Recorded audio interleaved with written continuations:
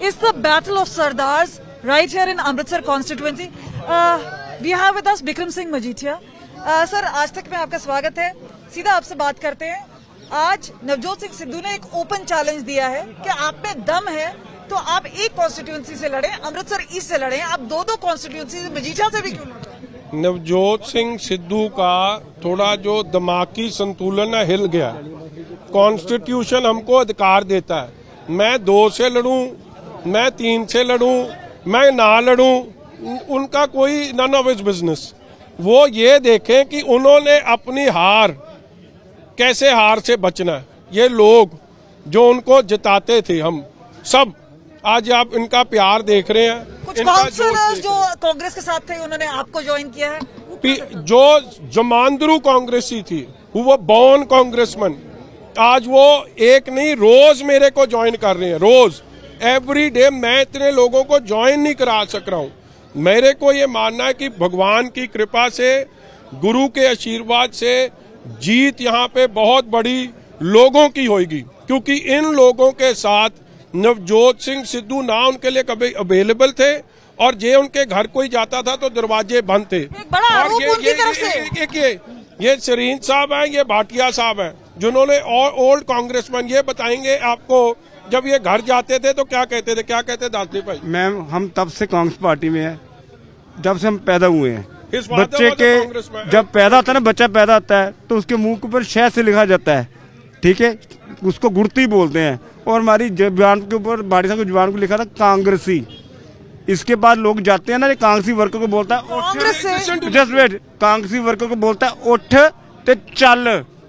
ਹੁਣ ਸਾਰੀ East constituency ਇਹਨੂੰ ਦੱਸਦੀ ਵੀ ਇਹ ਉੱਠ ਤੇ ਚੱਲ That's become the उनका बड़ा आरोप आपसे आप पर ये है कि आप काला धन कमाते हैं काला धंधा करते हैं ऐसे है कैरेक्टरलेस आदमी से मेरे को कैरेक्टर सर्टिफिकेशन की जरूरत नहीं है लोग फैसला करें लोगों की कचहरी सबसे ऊपर भगवान की कचहरी उससे ऊपर वो फैसला कर देंगे और मेरे पे इतना नुक्स था तो फिर सात मेरे पास क्यों आता है? 2007 में।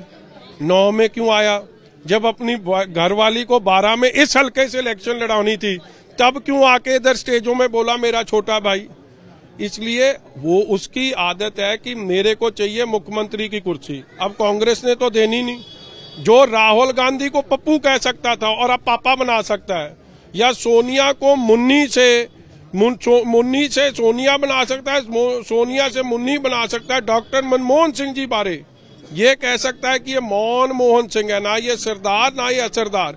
वो कुछ कर सकता है वो किरदार की बात करेगा। Will you be joint sir ma'am I am nobody to decide I am a humble sevadar of this of the people of this area I am committed because they want the people of this area wanted me to fight I am honoring their wishes.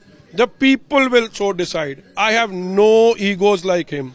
I have withholded. One final question. Uh, drugs is a big issue. There are allegations against you. Are you camping aga- campaigning against drugs?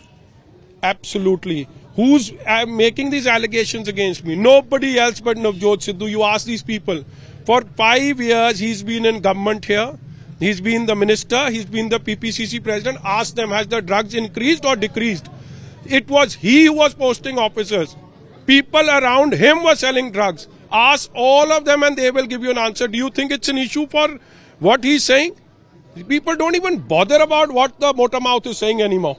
Thank you so much for speaking with us. Uh, Bikram Singh Majithia, uh, speaking to India today. With camera person Chandi Ram, this is Kamaljeet Sandhu in Amritsar East for India Today.